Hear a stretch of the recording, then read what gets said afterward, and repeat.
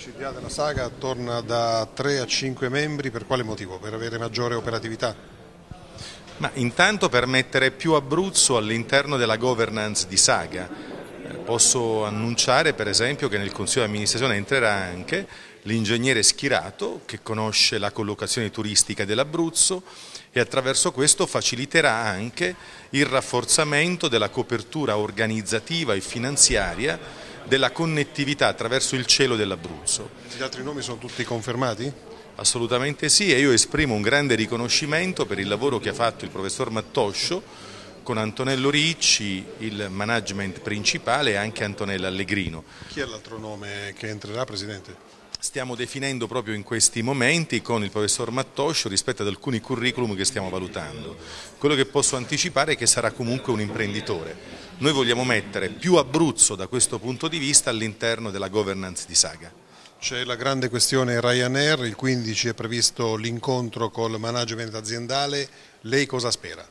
Io sono fiducioso, anche perché sta pervenendo a maturità anche la consapevolezza italiana ed europea circa la dotazione normativa che occorre per mantenere in vita e in potenza i cosiddetti aeroporti minori, quelli che sono regionali di provenienza ma internazionali sul piano dei collegamenti, gli aeroporti che non superano i 700.000 passeggeri e questo è uno di quegli aeroporti.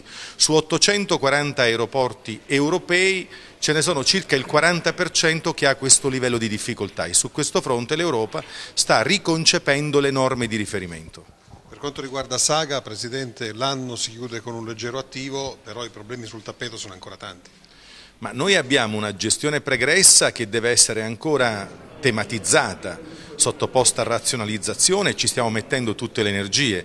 Il professor Mattosci è conosciuto per il suo rigore, la sua puntualità. Voglio anche mettere in evidenza che questo Consiglio di amministrazione è all'insegna del tutto gratuito e lo voglio ripetere, tutto gratuito. Anche questa è un'idea di università che mi convince, quando una competenza dell'Accademia dona la sua competenza per fare buon governo.